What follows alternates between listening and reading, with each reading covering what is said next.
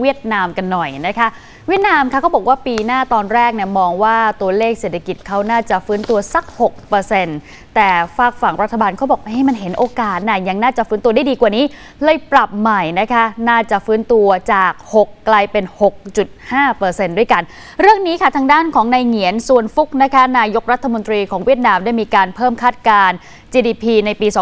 2564 ค่ะ มองทุกอย่างดีกว่าเดิม มองเห็นโอกาสจาก 6%ก็เลยจะกลายเป็น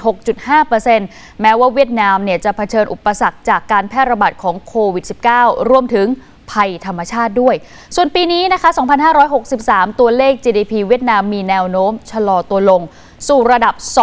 2.91%นะคะ ตัวเลขนี้เป็นตัวเลขที่ต่ำที่สุดในรอบ 30 ปี เพราะนอกจากเขาจะเจอผลกระทบจาก โควิด -19 แล้วเขายังเจอเรื่องของภัยธรรมชาติที่เกิดขึ้นภายในประเทศด้วยนะคะส่งผลกระทบถึงตัวเศรษฐกิจของเขารวมถึงเศรษฐกิจทั่วโลกที่มันซบเซาอยู่แล้วด้วย อย่างไรก็ตามค่ะตัวเลข GDP ของเวียดนามถือว่าขยายตัวเร็วที่สุดในโลกในปีนี้นะคะ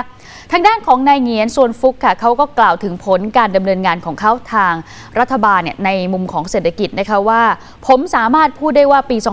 2563 เป็นปีที่เวียดนามประสบความสำเร็จนะคะมากที่สุดในรอบ 5 ปี แล้วก็เศรษฐกิจของประเทศกำลังดีขึ้นกว่าเดิม นักวิเคราะห์หลายท่านก็มองในมุมมองว่าเขาเนี่ยต้องใช้ความสามารถมากมายนะคะในปีที่ท้าทายเหลือเกิน ก่อนหน้านี้ค่ะ เราก็ตั้งเป้าหมายการเติบโตไว้ที่ 6%ในปี 2564 แม้จะมีอุปสรรคอยู่หลายประการ แต่รัฐบาลก็มองว่าเศรษฐกิจมีโอกาสที่จะขยายตัวได้มากขึ้นอีก 0.5%ก็จะกลายเป็น 6.5%นะคะ ซึ่งทางด้านของนายกเวียดนามก็บอกว่าเวียดนามเนี่ยทำผลงานได้ดีในการรับมือกับโควิด -19 ซึ่งเป็นการปูทางให้กิจกรรมทางเศรษฐกิจ ฟื้นตัวอย่างรวดเร็ว โดยเวียดนามได้ดำเนินมาตรการกักกัน แล้วก็ติดตามโรคโควิด -19 อย่างเข้มงวด จนสามารถรับมือกับการแพร่ระบาดได้อย่างรวดเร็ว และเวียดนามยังคงเป้าหมายการเติบโตทางเศรษฐกิจในช่วง 5 ปีข้างหน้านะคะ เอาไว้ที่ระดับ 6.5 ถึง 7%ค่ะ